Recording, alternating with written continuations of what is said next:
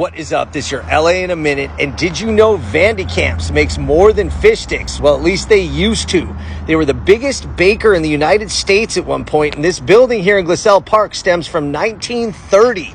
Did you also know that they started as Saratoga Chips in 1915? Let's get into some history and some facts about Van de Kamp's.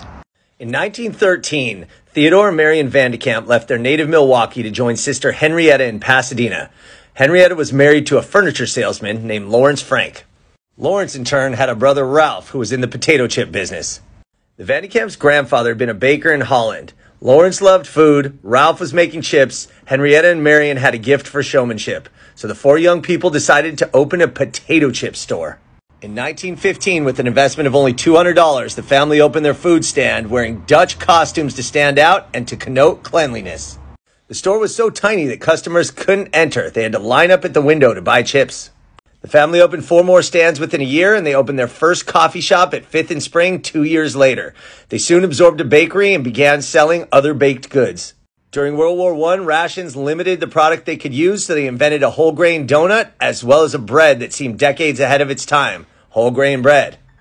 After the war, they continued to expand. In 1921, they built a large bakery near Beverly and Western, and they placed a picturesque blue and white windmill created special for the company by Hollywood art director Harry Oliver. The windmill would become the company's trademark.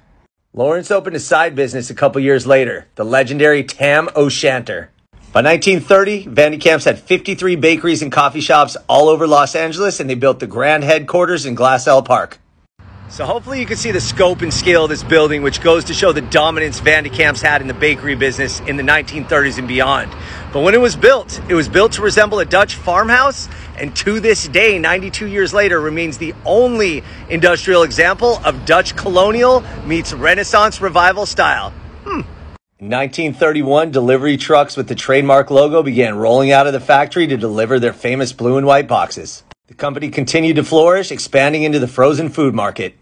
Lawrence flourished as well, opening up the legendary Lawry's Prime Rib on La Cienega in 1938. Theodore died in 1956, and the company sold to General Bakeries the same year. Van de Kamp's eventually splintered into two different companies, one for the bakeries and one for frozen foods, but they went bankrupt in 1990. Though the Van de Kamp's name is still on the building, that's about all that remains of the old bakery. The windmill is long gone, and so is the original store. The property did undergo a $72 million renovation in 2010 and is now a public LAUSD charter high school. As for Van de Kamp's, you can still find the fish sticks in your freezer section. All right, LA, it's been a minute.